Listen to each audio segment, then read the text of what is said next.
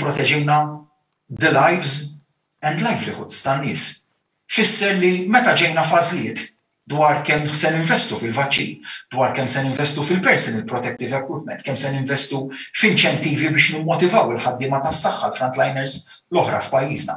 ikollok tagħmel għażliet.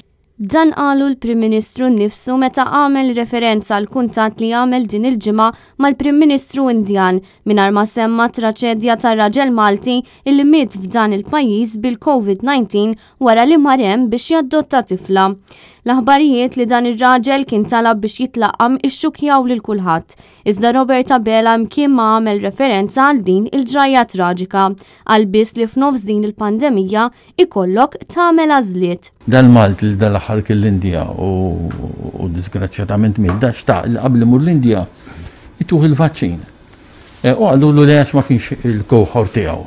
Le, ma ekku, ħana, eżatti kif qed tgħid inti, ġifieri wieħed ma jistax e, jagħmel il-regoli Jiġifieri jekk inti tista' tgħid Ma se post riskjuż tant. Iva, iva, mela jiena nista' ngħid jiena ħammur l-Indja għada. Inti tista' tgħid mela jiena imissni nieħu tilqima xahar ieħor, mela il-Peru immur ix-xahar ta' wara.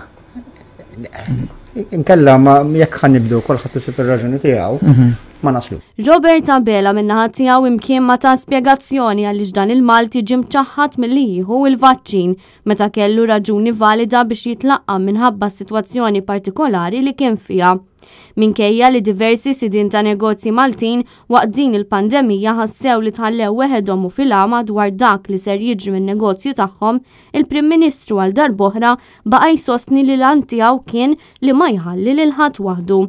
Fl-intervista tal-Ħadd, Robert Abela qal li l-vouchers għax-xiri u r-ristoranti se jkunu jistgħu jinħarġu fis-7 ta' Ġunju, inċentiva li kien preżenta l-Partit Nazzjonalista sena ilu u li diġà gawdew minnha diversi negozji u sidien ta' ristoranti. Fuq il-midja Laburista l-Prim Ministru stqarr illi ħadd ma kien jimmaġina sena ilu li konna se nkunu f'din il-pożizzjoni għalkemm imkien ma rrefera għall-fatt li sena ilu eżatt bħal dan iż-żmien Il-Gvern kien qed jgħid li rbaħna l-battalja, li l-Covid jinsab warajna u li l-mewġ jinsab fil-baħar. Min qatt immaġina li f'Marzu, fis-sebgħa ta' Marzu tal-2020, il-ħajja tagħna kienet se tinbidel b'mod tant drastiku. Issa Robert Abela qed jgħid li l-pandemija għadha magħna u li rridu nibqgħu viġilanti.